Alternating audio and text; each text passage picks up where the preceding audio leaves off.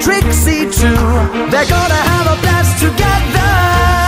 Go, go, go, get a lazy town. It's the start of a brand new day.